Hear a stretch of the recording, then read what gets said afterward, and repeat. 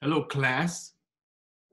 Well, if you're the class, I guess that must mean you are classy people. so, welcome, classy people. Good to see you on the. Well, I can't see you. Uh, sorry, it may look like I can see you, but I really can't see you. and like I said before, it's the weirdest thing sitting here talking to yourself.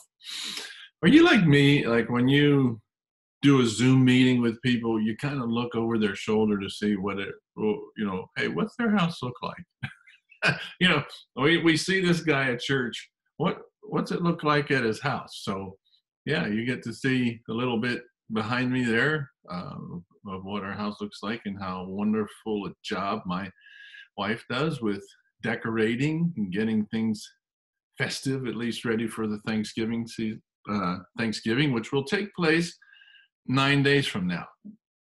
Because you know usually i do these things out in a, a, a, little room that we have in the backyard. But if i was out there right now it, let's see it's 36 degrees so i would be freezing. And actually looking out there we're having our first snowfall. So it's tuesday november 17th and so we're having our first snowfall. So here we are we're inside and we're going to get through grab bag number seven. There we go. That's my introduction. Grab bag number seven. And remember, if you would, to please punch, uh, I guess down below here, there's something that you can hit to show that you are in attendance. And if you would do that, we would greatly appreciate that to have a record of the fact uh, that you attended. We'd like to know how many people are using this opportunity for communication. Okay, so th- we're in a series. I, I guess it's become a series.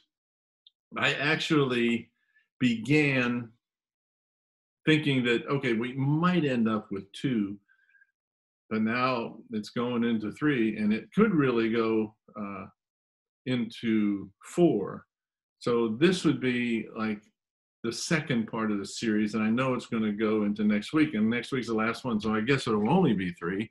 It could go into four, but uh, we're looking at the life of Isaac in the Old Testament, the book of Genesis, and when we laughed, when we laughed, when we last left Jacob, our spiritual tree relative from way back, he and his mom Rebecca had just deceived his dad, Isaac, into giving the fatherly blessing to him rather than his big brother Esau. Now I'm thinking, uh oh, I think I said we're doing a study on Jacob.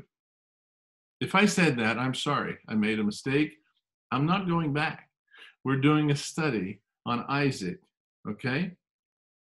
Uh, no, we're not. We're doing a study on Jacob. I do this, you see, just to confuse you, just to keep you awake. So we're doing a study on Jacob, who is the son of Isaac, as is his brother Esau. Anyway, um, if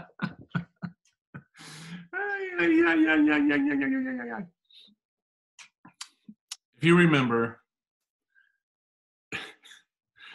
Jacob had uh, tricked his dad Isaac into giving the fatherly blessing to Jacob rather than his big brother Esau, uh, the the birthright, you know. So this really, anyway, this deception of this deception of Jacob's really set Esau on fire emotionally and he vowed to kill his brother. And you can find that in Genesis 27, verses 41 through 46. Esau held a grudge against Jacob because of the blessing his father had given him. And he said to himself, The days of mourning for my father are near, and then I will kill my brother Jacob. Well, upon hearing that news, Esau was obviously very loud about it. Rebecca got her favorite son ready to go on a trip to her homeland, and she sent him on his way to his uncle Laban's neighborhood in Padan Aram. Okay, So Jacob tricks Esau out of his birthright. And then he tricks him also out of a blessing from Father Isaac. He deceives him. And he does that with the help of his mother, Rebecca.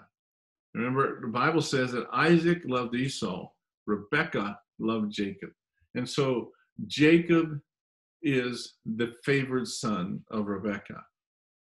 Well, after they together conspire to deceive Isaac, Esau is just lit up.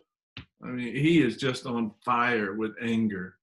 And he obviously just spews it out, says it out loud, that eventually, when Isaac dies, he is going, he, meaning um, Esau, is going to kill his twin brother Jacob.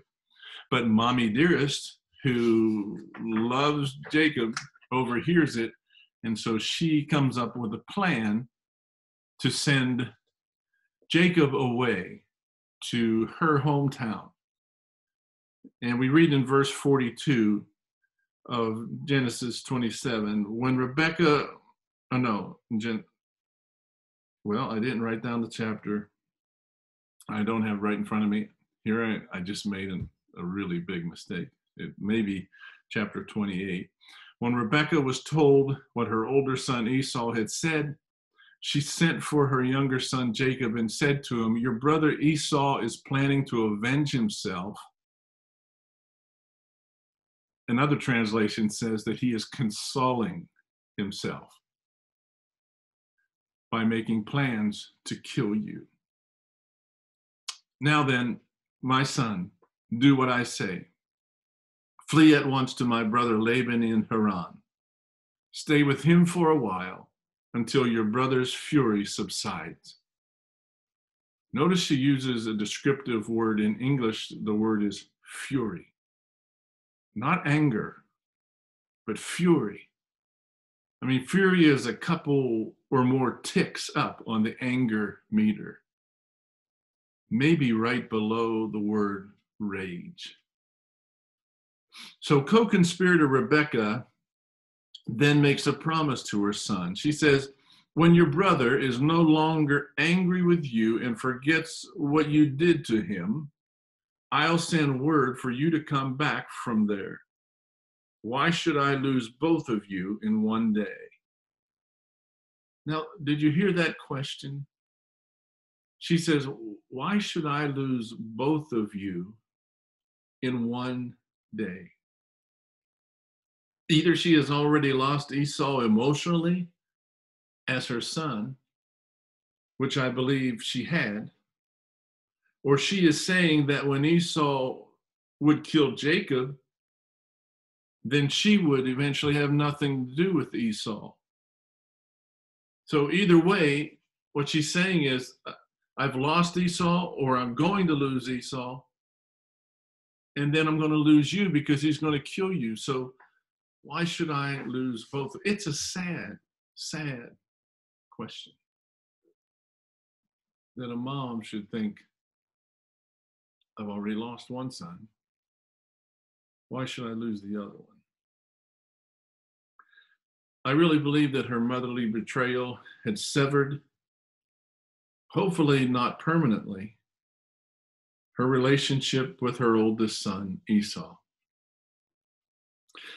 So, like I said, therefore she will lose one boy physically while she has already lost one relationally, or will lose one relationally. It makes you wonder which is worse dead and gone, or alive and gone. I mean, it, which is going to hurt her worse?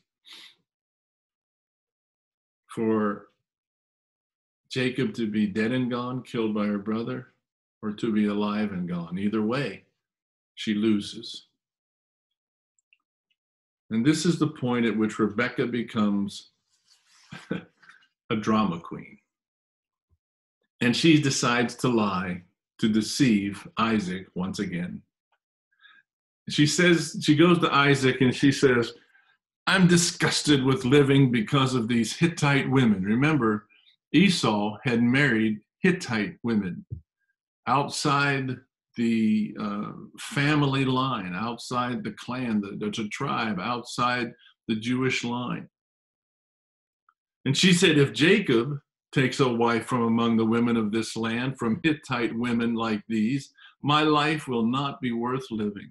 Oh, my life will not be worth living. She obviously had some contention between Esau's non Jewish wives. And so she, she makes up this situation and she goes to Isaac and she simply says, Oh no, if Jacob did the same thing, why would she think he would do the same thing? But if he does the same thing, oh, my life just won't be worth living. So now the groundwork has been laid for Isaac to agree to his youngest son's exit from the family nest. You know, one question I have is Is Isaac, I mean, is he oblivious to what's going on around him? Is he like off in a corner in the tent somewhere? Is he so dense? Or is he just growing dim in his older age? I mean, he's approximately 150 to 160 years old at this time. But that doesn't mean that Rebecca is a spring chicken either. Anyway, Isaac becomes convinced that, yeah, Jacob needs to go back to Haran. And uh, so he sends him away with a blessing. And Jacob goes on his merry way. And he's heading off to Haran. I, I wonder how they were able to travel such long distances without GPS to guide them. I guess they were just that good at following the stars and, and knowing the direction. 457 miles, says one source, about 50 miles less than the distance from Pittsburgh to New York City. Another source says 690 miles. So, anyway, somewhere between 450 and 700 miles. I, I guess it depends on what trade route you went, what direction you went. And so Jacob is off to Haran. Now, the first step stop that we know about for Jacob is at a rest stop. it's a, it's he's a stops at Bethel, which was a 90 mile trip. And this will be our final stop for this lesson because we're going to, if you pardon the pun, we're going to camp here for a bit. In Genesis chapter 28, verse 10, we read, Jacob left Beersheba which, you know, we say Beersheba, which I think the pronunciation correctly is Beersheba. Jacob left Beersheba and set out for Haran. When he reached a certain place, he stopped for the night because the sun had set. And taking one of the stones there, he put it under his head and lay down to sleep. you think about that. I mean, you have to be absolutely dead tired to sleep on a rock. Did Jacob leave home in such a hurry that he left without his favorite pillow? um, I would hope he was smart enough to put a covering on the stone for a cushion. But not only would he have been tired, he may have been very hungry as well. Not being as efficient a hunter as his brother Esau, you know, he was a great cook, we learned, but you're not going to be a great cook if you don't have anything, any food to cook. So, in the words of Indiana Jones, it's not the years, it's the mileage. And so, a worn out and possibly tired Jacob sleeps on a rock. And he sleeps like a rock, I guess. And he dreams. In verse 12, he had a dream in which he saw a stairway resting on the earth with its top reaching to heaven, and the angels of God were ascending and descending on it. And there above it stood the Lord, and he said, I am the Lord, the God of your father Abraham and the God of Isaac. In this amazing dream, God identifies himself. Plus, he will give Jacob a lesson in the spiritual family tree. Because he says, I am the Lord. But then he says, I am the God of your father Abraham and the God of Isaac.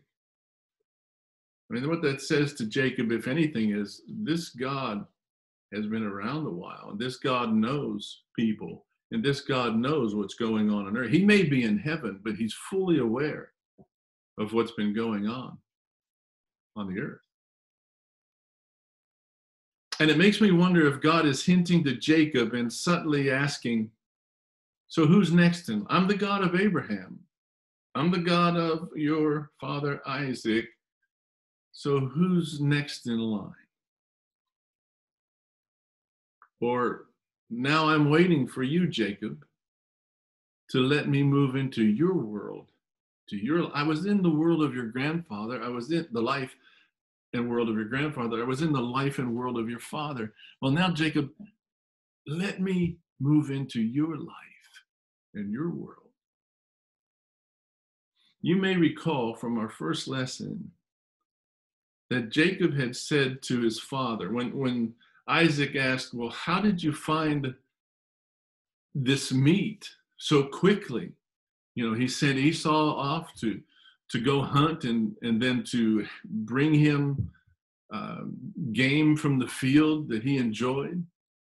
And while Esau's gone, you know, Jacob, through Rebecca's deceptional leading, steps in, and Isaac at least had the wherewithal to say, How did that happen so quickly? And Jacob lied and said, You listen? Your God gave me success in finding the wild game. That makes me think that Jacob really did not claim a personal relationship with God. And so, if he didn't, that would make greed and jealousy and conniving to get his brother's privileges even more of an okay course of action. I mean, if there's no God, there's no moral principle to follow. Get what you can. That, that's the way a lot of people live in our world today. They've jettisoned God. God doesn't exist. And if God isn't there, then who's to say what's right and wrong? And so I can do anything that I want to get what I want. And if it means lying, if it means deceiving, and yeah, I'll do it. And maybe, you know, Jacob just kind of reflected the humanistic person of today. It's okay for me to lie. It's okay for me to be greedy. It's okay for me to have jealousy. It's okay for me to deceive and to connive to get my brother's privileges because there's no moral framework that obligates me to God. I, I don't know if Jacob thought that. We don't have that in scripture, but it's sure something to think about. Now, God, we find, is polite, polite enough to introduce himself in a personal way. I am the Lord your God. Um, you know, which is, again, he I'm sorry, he doesn't say, I am the Lord your God. He just says, I am the Lord. I am the God of your father, Abraham and I. He introduces himself in a very personal way. He doesn't simply say, you know, Jacob, I am God, the Creator God. I am the mighty force over everything he doesn't come off that way,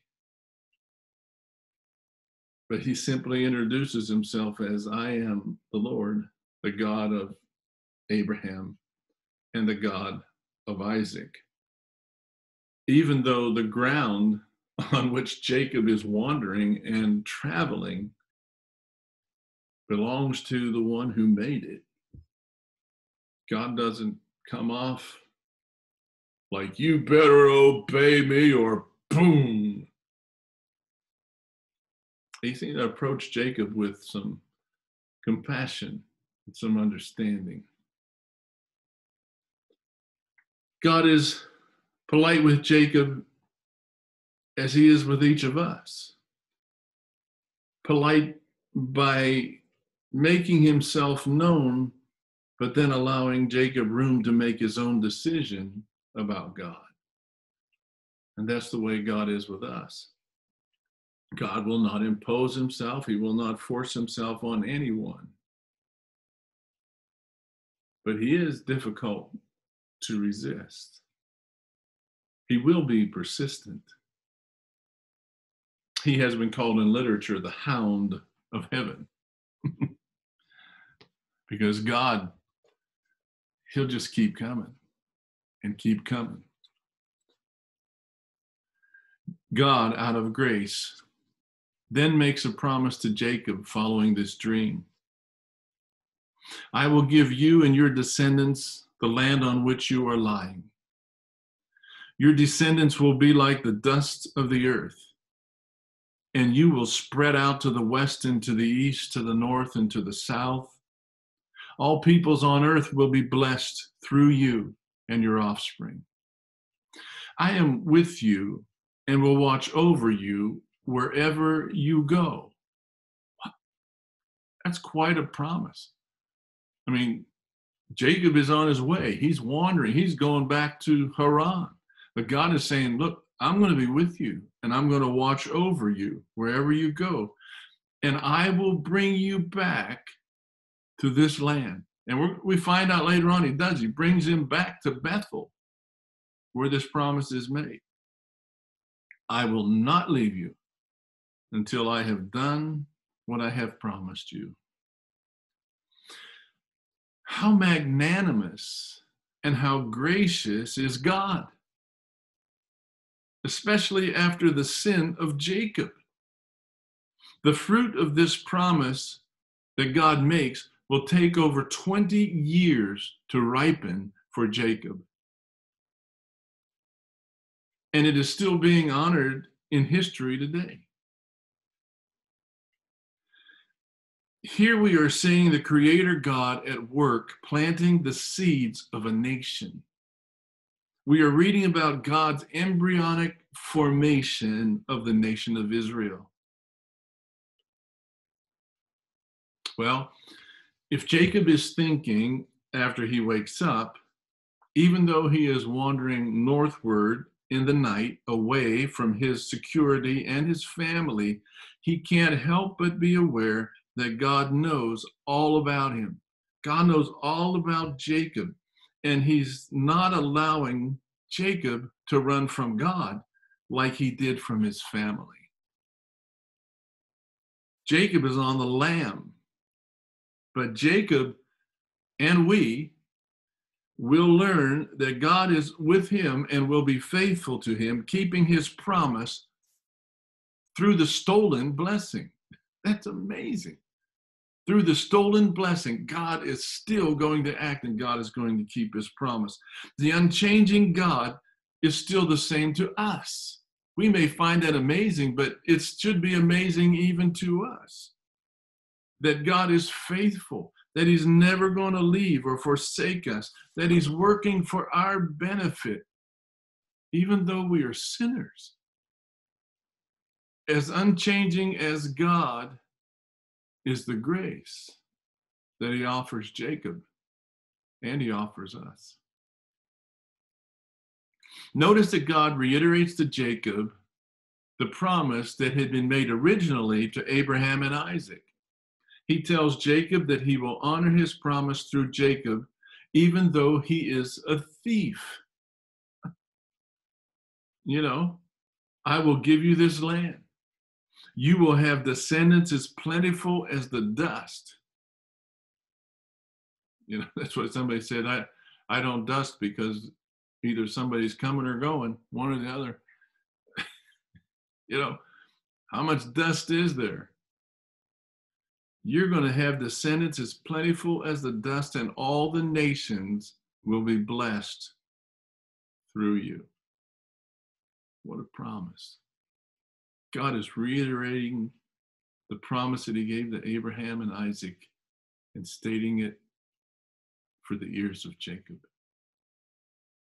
And I want you to notice, if you will, the latter part of verse 14 that I already mentioned to you, where God says, All peoples on earth will be blessed through you and your offspring. With these words, God is stating his plan for the nation of Israel.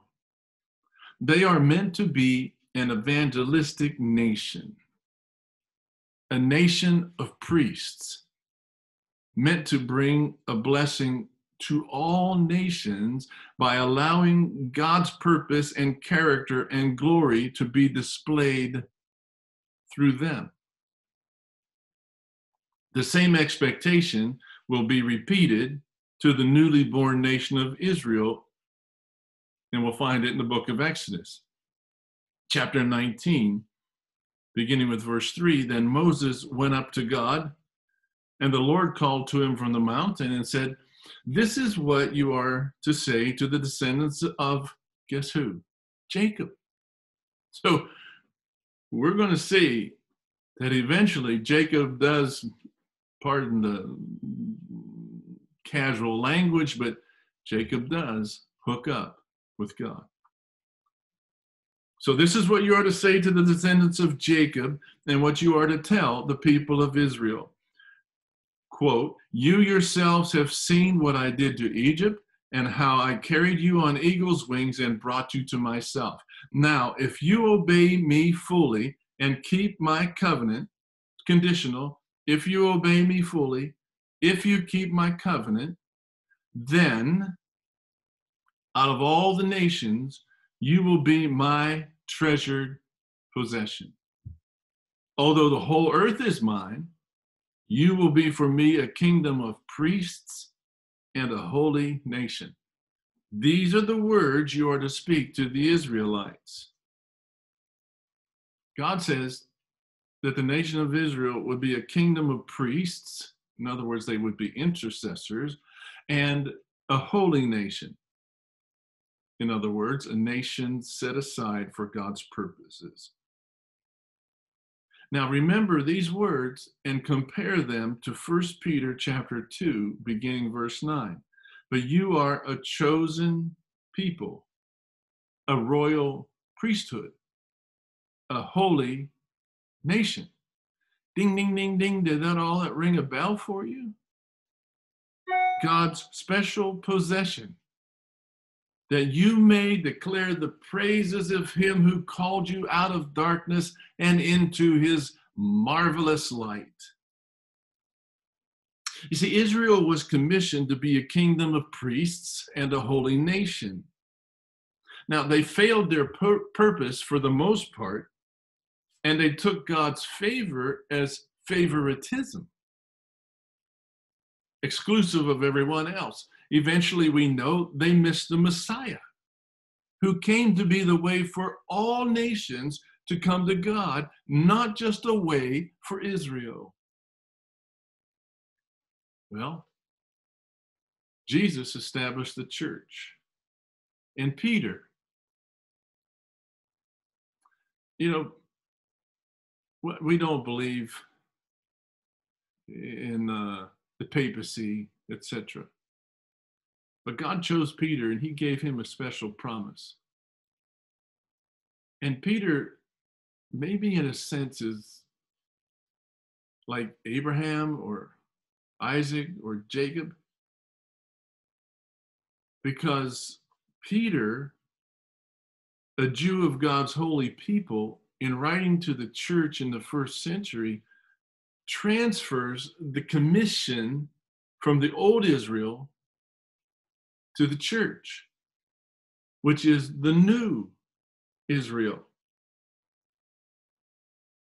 As a member of the church, through the blood of Christ, not just as names on a church roll, you and I are part of the kingdom of priests and a holy nation. You see, that's what Peter was saying. You know, if you were a Jew in the first century and you're reading what Peter wrote, that you are a holy nation, that you are a kingdom of priests, that you are a people for God's own possession, that you are called to tell other nations and other people about the grace of God that calls them out of darkness and leads them into a kingdom of light. If you were a Jew in the first century, you would be thinking, wait a second, that's who the nation of Israel was meant to be.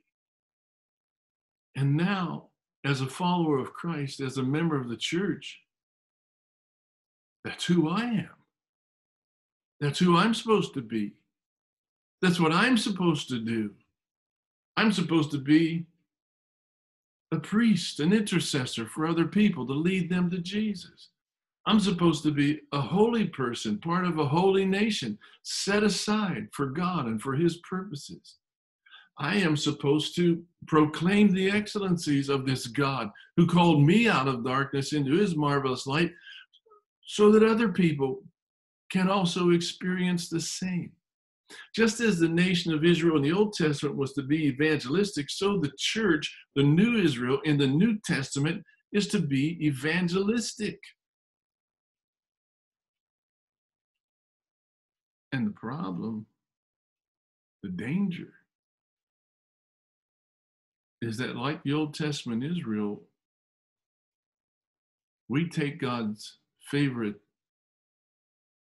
his favor toward us and turn it into favoritism.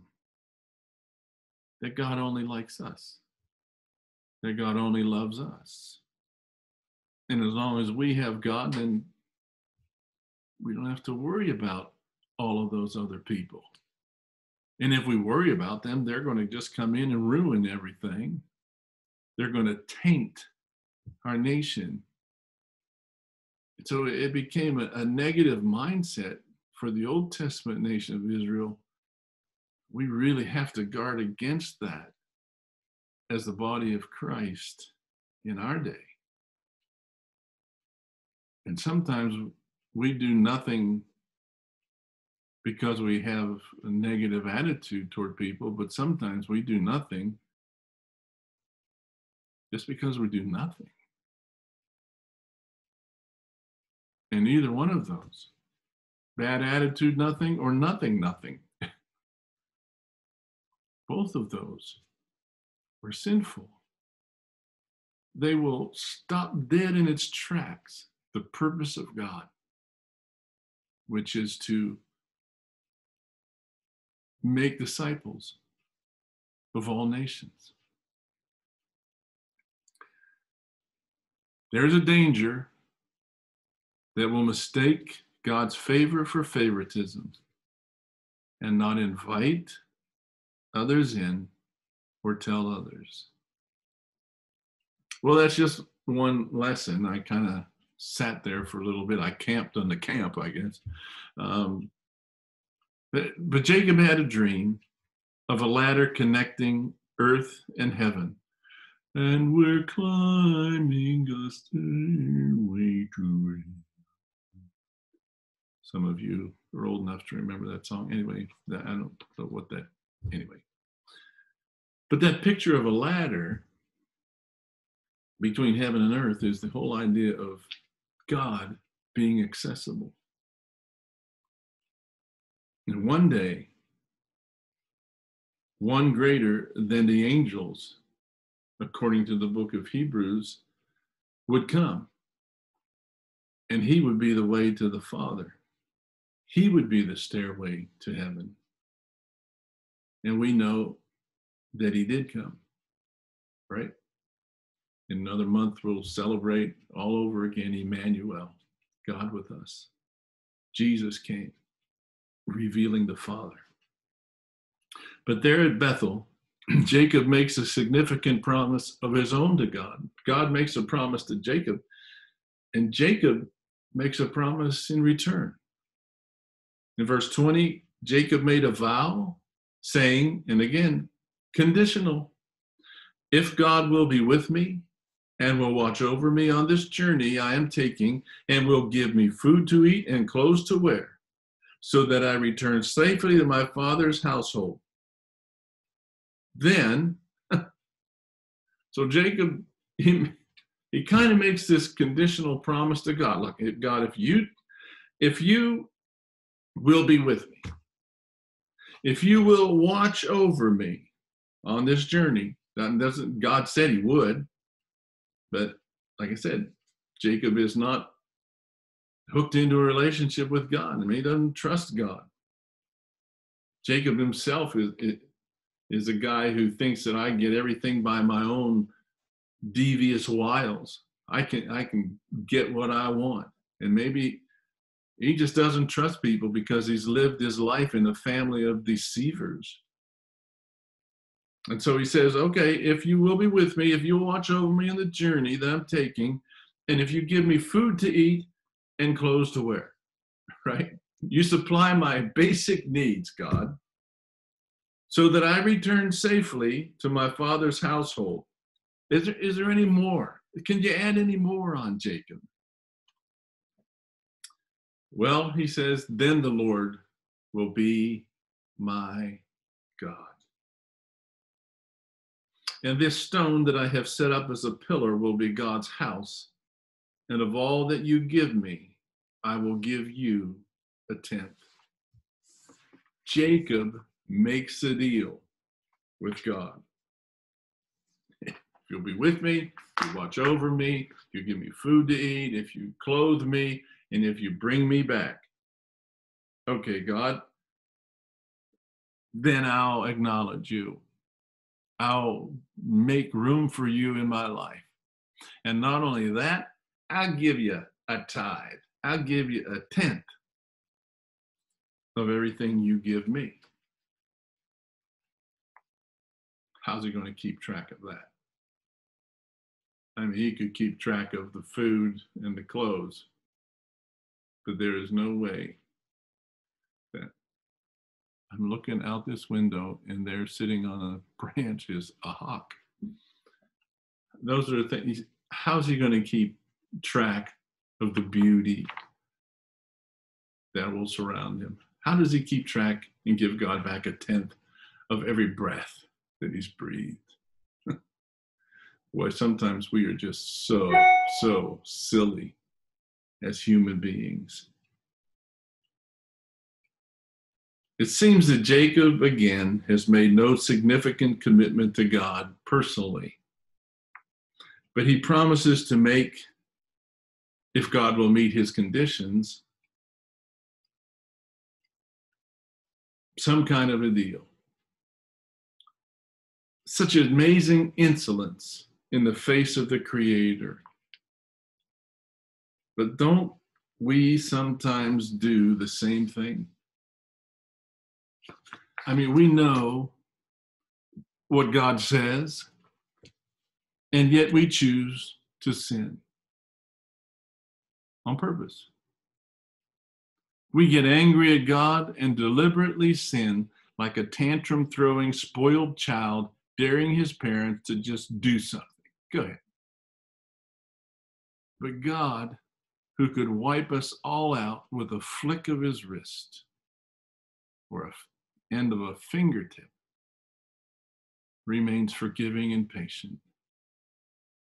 He even allows discipline in order to grow us. You know, when we get insolent or whatever and, and sin, God disciplines us, but it's not, He disciplines us in order to grow us. That's how much God loves us it'll be 20 to 21 years later that God will keep his word and tell Jacob to go home. you know, God says, I will bring you back. And 20, 21 years later, the word comes to Jacob, okay, it's time for you to go home. The question will be, will Jacob keep his end of the bargain? After 21 years, will he give in to God? Well, we've already got spoiler alert. We already kind of know that he does. But it's interesting how even that comes about, and we'll look at that in our next lesson. It's amazing that God is patient, allowing Jacob to state the terms of the deal, and then allowing Jacob to run out his string like a yo yo before God yanks it back and leads Jacob to a place of surrender. So here's a few final lessons.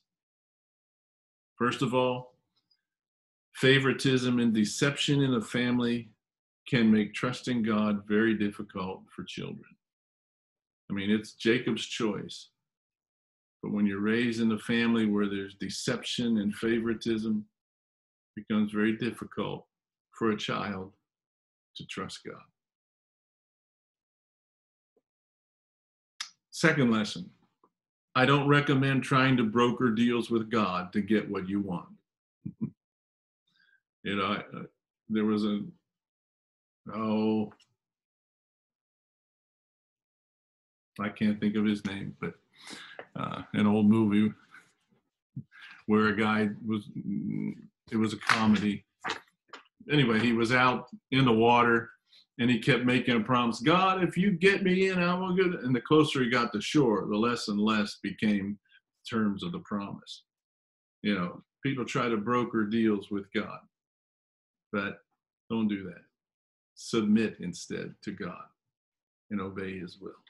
The third lesson Jacob has a concept of tithing that he promises to begin if God meets his qualifications. Is that an attempt to bribe God? I mean, what do you think? You know, I'll give you a tenth of everything. Is he trying to bribe God with that? Well, has God been faithful and good to you? If so, are you tithing? And what does 10% of everything look like with what you have? It's a joke, you know. Do you, do you tithe 10% on the net? Or do you tithe 10% on the entire income or whatever you have? You know, um, the gross. Are we going to be that picky? Has God been faithful to you? If so, are you tithing? It's a biblical principle. Tithing as a bare minimum, 10% of everything. And then offerings on top of that. You will never, as they say, you will never outgive God. You could you could give all of your income from now until the day that you die. And you will never never outdo God for the blessings He has already given you to this very point.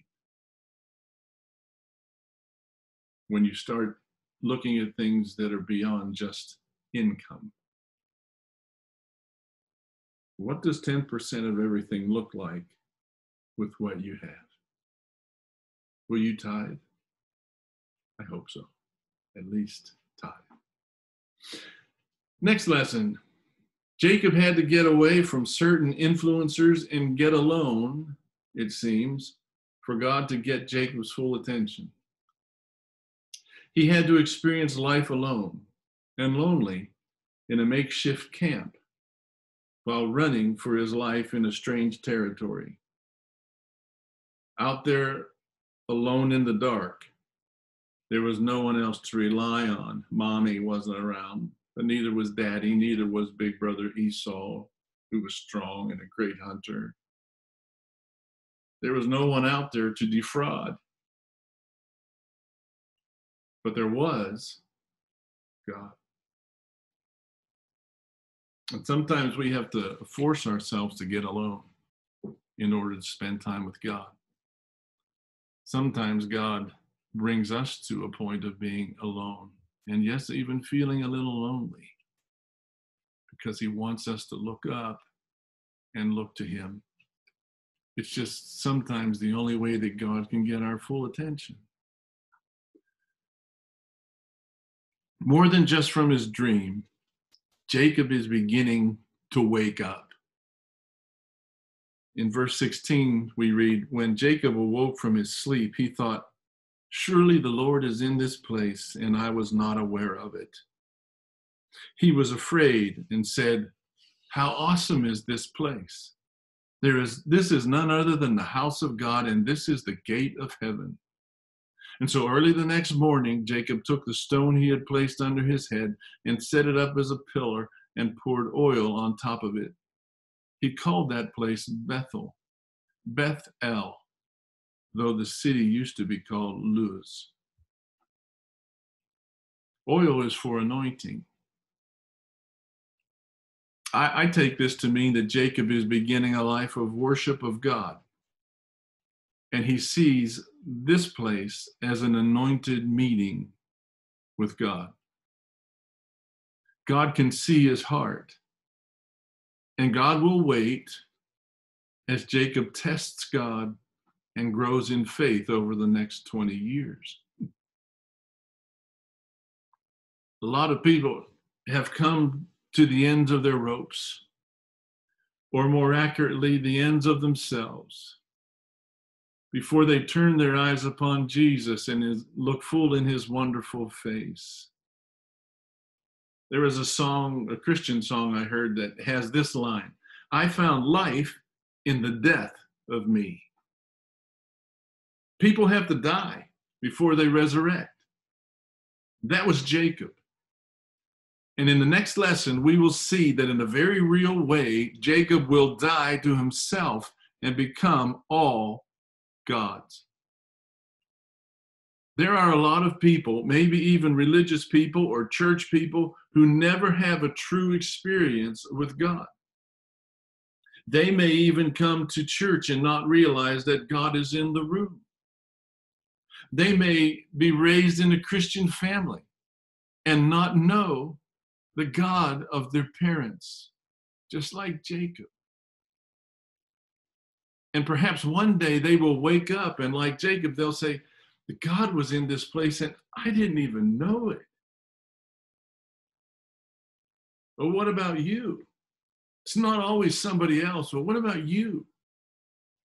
Do you live with an awareness of God who is in all and through all? Are you living mindful of God's presence so that you know without a doubt that in Him you live, move, breathe, and have your being? Jacob spoke, as we already mentioned, some of the saddest words that were probably ever spoken, some of the saddest words that were ever written in the Bible.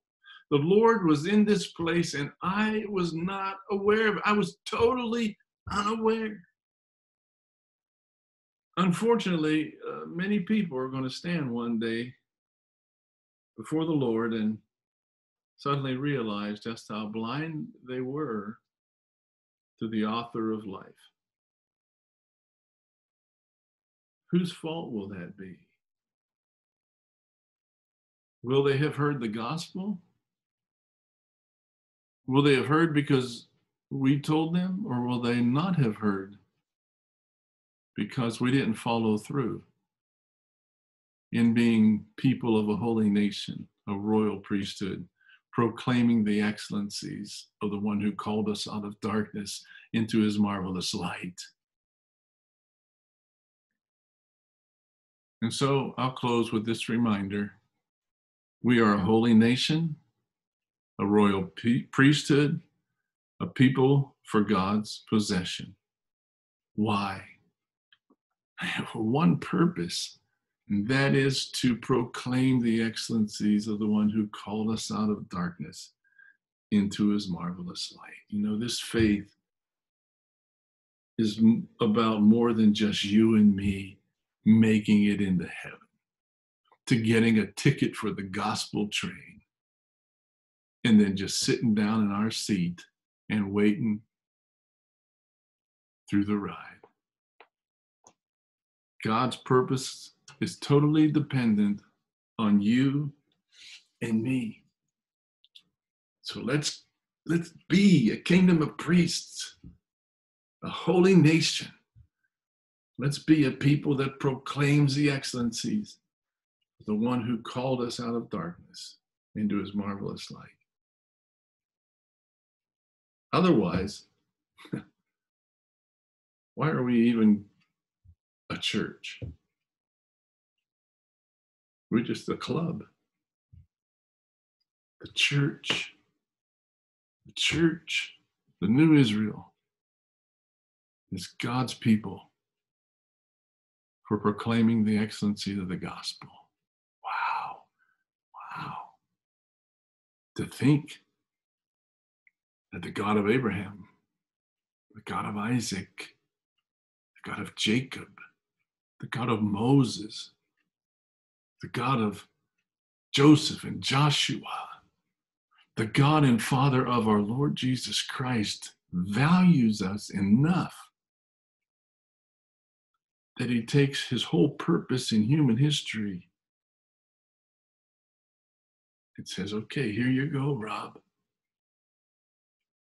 I'm putting it in your hands. And if you fumble the ball, if you don't do anything, I'll let you finish that one. Let's make disciples. Let's reach out and teach all to follow Christ. I sure do love you folks. And if you've made it all the way through this series and even this lesson, thank you so much. And I pray that the Holy Spirit will speak to your heart and that God will open up avenues for you to brag on Him. God bless you.